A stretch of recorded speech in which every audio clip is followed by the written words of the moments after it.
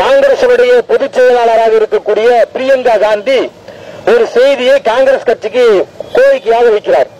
அது என்னன்னு பாத்தீங்கன்னா தொடர்ந்து ஒரு குடும்பத்திலேயே காங்கிரஸ் கட்சிக்கு தலைவராக வருவது என்பது ஏற்புடையதாக இல்லை. அதனால அதை மாற்றணும். ஒரு குடும்ப நிர்வாகியா இல்லாம பல நபர்கள் இந்த கட்சிக்கு தலைவராக வரணும் அப்படின்னு நேற்றைய தினம் பிரியங்கா காந்தி பேசியிருக்கிறார்.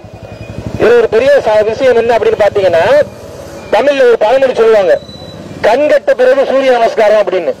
அந்த மாதிரி இன்றைக்கு காங்கிரஸ் ஒன்றுமில்லாமல் அழிந்து போன பிறகு காங்கிரஸ் ஆண்ட மாநிலங்களில் எல்லாம் இன்றைக்கு பாரதிய ஜனதா கட்சியினுடைய தலைமையில் மகத்தான ஆட்சி செய்து கொண்டிருக்கும் பொழுது என்னடா குறை இருக்கிறது என்பதை ரொம்ப லேட்டா புரிந்து கொண்டு ஒருத்தர் சுத்தமா மூழ்கிய பிறகு கையாட்டுவது போன்று காங்கிரஸ் கட்சி ஒட்டுமொத்தமாக மூழ்கிய பிறகு இப்பொழுது அவர்களுக்கு புத்தி வந்திருக்கிறது ஓஹோ பரம்பரையாக அப்பா அப்பாவுக்கு பிறகு பொண்ணு பொண்ணுக்கு பிறகு பையன் பையனுக்கு பிறகு மறுபடி பையன் இப்படி வந்தா இந்திய மக்கள் அதை ரொம்ப காலம் வேடிக்கை பார்த்துக் கொண்டிருக்க மாட்டார்கள் என்பதை புரிந்து கொண்டுதான் இப்பொழுது சொல்லுகிறார் இந்த குடும்ப ஆட்சி வேண்டாம் ஒரு குடும்பத்திலிருந்து தொடர் தலைவர்கள் என்பது தேவையில்லை.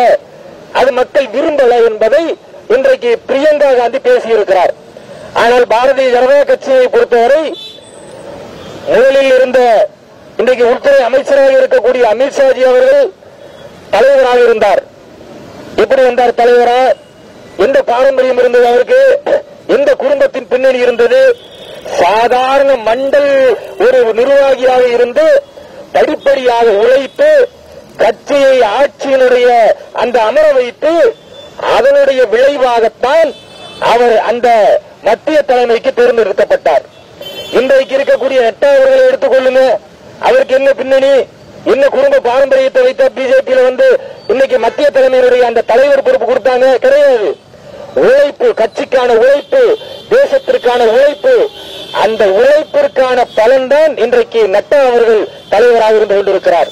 ஆனால் எந்த உழைப்புமே இல்லாமல் நெஹ்ருடைய வயிற்றில் பிறந்ததற்காக இந்திரா காந்தி அவர்கள் காங்கிரசுக்கும் தலைவராக இருக்க முடியும் தேசத்திற்கும் பிரதமராக இருக்க முடியும். எந்த உழைப்பும் இல்லாமல் திரு ராஜீவ் காந்தி அவர்கள் காங்கிரசுக்கும் தலைவராக இருக்க முடியும் தேசத்துக்கும் பிரதமராக இருக்க முடியும். எந்த உழைப்பும் இல்லாமல் சோனியா காந்தி அவர்கள் காங்கிரசுக்கும் தலைவராக இருக்க முடியும். பிரதமராக இருக்க முடியல. வெகுஜன மக்கள் எதிர்ப்பு. எங்கோ இருந்து வந்த இத்தாலியிலிருந்து வந்தவர்களுக்கு இங்கு இடம் கிடையாது என்று சொன்னதனால ஒரு மன்மோகன் சிங் என்ற ஒரு கைபொம்மையை கொண்டு வந்து நிற்க வைத்தார்கள். இன்னைக்கு திரும்பவும் ஆசை யாருக்குன்னா ராகுலுக்கு. ஆனாலும் அவர் கதை என்னாச்சு? ஒரு எலெக்ஷன்ல மரணடி வாங்கின பிறகு எப்போ தலைவர் பதவி ஓடி ஒளிந்த ஒரு மோசமான சூழல் தான் இன்றைக்கு காங்கிரஸ் இருந்து கொண்டிருக்கிறது. இப்போ அவர்கள் சொல்லுகிறார்கள் என்ன? குடும்ப ஆட்சி வேண்டாம். வேற வேற மக்களை உள்ள கொண்டு வரணும். தகுதியானவர்களை கொண்டு வர வேண்டும் என்று கண்கட்ட பிறகு புத்தி வந்திருக்கிறது. இங்கே அந்த மாதிரி புத்தி வரும்.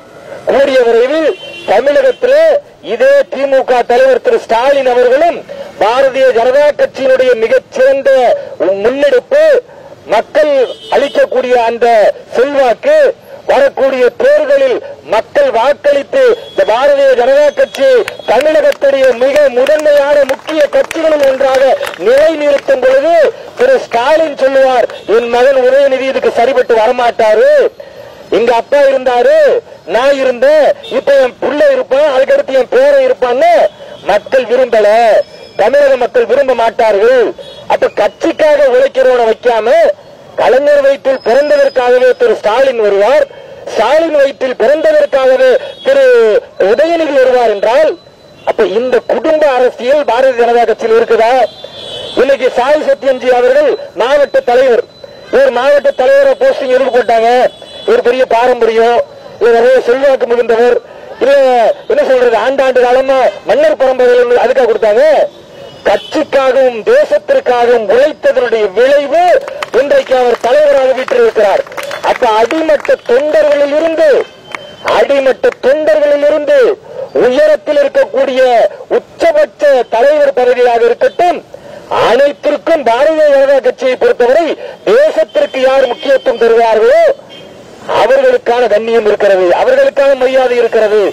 ஆனால் இன்றைக்கு காங்கிரசிலையும் திமுகவையும் குடும்பத்திற்கு முக்கியத்துவம் கொடுத்து நாட்டையும் சீரழித்து இவர்கள் மக்களையும் சீரழித்தார்கள். தாங்கள் மட்டும் பலத்தோடு இருக்கிறார்கள்.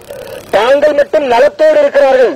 அப்ப இப்படிப்பட்ட கேடு கெட்டவர்களை தமிழகத்திலும் புறக்கணிக்க வேண்டும். வட இந்தியாவிலும் தொடர்ந்து புறக்கணித்து அவர்கள் எல்லாம் வீட்டுக்கு போய் என்று அனுப்பிவிட்டார்கள் இன்றைக்கு தென்னிந்தியாவில் கர்நாடகத்தில் அதை உறுதிபட செய்திருக்கிறார்கள். தமிழகத்திலும் வரக்கூடிய சட்டமன்ற தேர்தலில் அதை நாம் உறுதிபட செய்ய வேண்டும் என்றால் நாம் எல்லாம் ஒருங்கிணைய வேண்டும். வாக்குகளை நேரடியாக மக்கள் மத்தியிலே கொண்டு போய் இந்த இவர்கள் என்ன செய்தார்கள் என்ற குறைகளை சொல்ல வேண்டும். இவர்களுடைய அநியாயங்களை சொல்ல வேண்டும் என்ன? நம்ம கிட்ட இப்ப மீடியா கிடையாது. நமக்கு சாதகமா ஊடகங்கள் கிடையாது. எல்லா ஊடகங்களும் மத்திய மாநில அரசுகளுக்கு எதிராக செயல்படக்கூடிய ஒரு மோசமான சூழல். இந்த நிலையிலே மாண்புமிகு பாரத பிரதமர் அவர்கள் சொன்னது போன்று ஒவ்வொரு பாரத தேசத்தின் பிள்ளைகளும் இந்த செய்தியை கொண்டு போய் சேர்க்க வேண்டியிருக்கிறது. அது மட்டுமல்ல இன்றைக்கு திரு ஸ்டாலின் அவர்கள் டெய்லி ஏதாவது ஒரு அறிக்கை விடுவார். அது ஒரு நோயா அவருக்கு மாறிடுச்சு. அது மாதிரி நேற்று ஒரு அறிக்கை விடுகிறார். என்ன தெரியுமா? தமிழகத்துல காவல்துறைக்கு வந்து பாதுகாப்பு இல்ல. என்ன சொல்ல வராரு? காவல்துறையில் ஒரு இன்ஸ்பெக்டர் இருக்கிறாருன்னா அவருக்கு ஒரு நாலு போலீஸ் பாதுகாப்பு. ஒரு எஸ்ஐ இருக்கிறாருன்னா அவருக்கு நாலு போலீஸ் பாதுகாப்பு. அதுக்கா? அதுவா? என்ன சொல்ல வராரு காவல்துறைக்கு பாதுகாப்பு இல்லையா? பாதுகாப்பு கொடுக்கக்கூடியவர்களுக்கே பாதுகாப்பு இல்லைன்னு எதுக்கு சொல்றாரு தெரியுமா அவரு? சுப்பிரமணியன் என்ற ஒரு காவலர் நேற்று ஒரு சமூக விரோதியினால் கொல்லப்படுகிறார். அதாவது கையெறி குண்டு வீசி கொல்லப்படுகிறார். இந்த கொல்லப்பட்ட செய்தியை அவர் மையப்படுத்தி தான் காவலருக்கு பாதுகாப்பு இல்லைன்னு காவல்துறையை பலகீனப்படுத்துகிறார். மாநில முதல்வரை ஏதோ இழிவுபடுத்துறோம் நினைச்சுக்கிட்டு தமிழக காவல்துறையை இழிவுபடுத்துகிறார். நான் கேட்கிறேன் சுப்பிரமணியன் என்ற காவலர் ஏதோ எதிரிகள் விரட்டி வந்து அவர் தப்பித்து ஓடி போய் வெட்டி கொண்டு விட்டாங்களா? அப்ப அதனால காவல்துறைக்கு பாதுகாப்பு வேணும்னு நியாயம் சொல்லலாம். ஒரு ஆண்மகனாக தமிழக காவல்துறையினுடைய கண்ணியத்தை காக்கும் விதமாக ஒரு குற்றவாளியை ஒரு சமூக விரோதியை விரட்டி பிடிக்கும் பொழுது கையை கொண்டு வீசி கொல்லப்பட்ட அப்படிப்பட்ட ஒரு தியாகியை ஒரு வீரனை ஒரு மிகச்சிறந்த காவலனை இந்த தமிழம் தமிழகத்தில் உள்ள அத்தனை மக்களும் போற்றிக் கொண்டிருக்கக்கூடிய நேரத்தில் காவல்துறையுடைய டிஜிபியிலிருந்து அத்தனை உயர்மட்ட காவல்துறையினிலிருந்து கலெக்டரிலிருந்து அத்தனை கட்சி நிர்வாகிகளும் அவருடைய இறப்பிற்கு நேரடியாக சென்று அந்த இரங்கல் தெரிவித்து அந்த கூட்டு பிரார்த்தனையிலே பங்கெடுத்தார்கள். அப்படிப்பட்ட ஒரு மகத்தான நிகழ்ச்சியை கொச்சைப்படுத்தும் விதமாக காவல்துறையை கேவலப்படுத்தும் விதமாக திரு ஸ்டாலின் சொல்கிறார் காவல்துறைக்கு பாதுகாப்பு இல்லை பயந்து ஓடினார்களா? காவல்துறையினர் பதுங்கி இருக்கும்போது வந்து கொண்டார்களா என்ன சொல்ல வராரு? மூளை குழம்பி விட்டதா?